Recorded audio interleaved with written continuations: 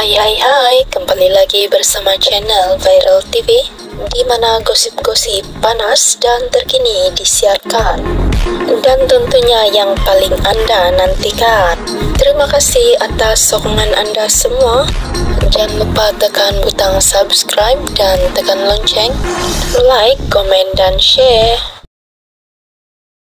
Salam sejahtera berita hari ini dipetik dari Beautiful Nara.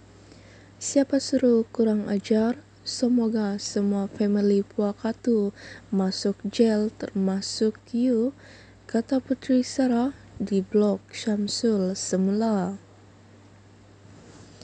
Siapa sangka pengarah sensasi Syamsul Yusof mengambil keputusan untuk tidak melepaskan isteri pertama Putri Sarah biarpun sebelum ini berkata sudah mencapai kata sepakat.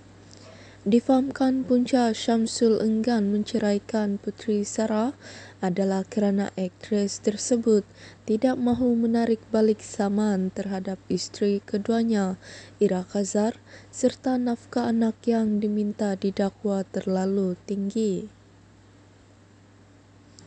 Terbaru Putri Sarah atau mesra disapa sebagai Sarah itu membuat IG story menunjukkan bukti dirinya telah diblok semula oleh Syamsul di aplikasi WhatsApp.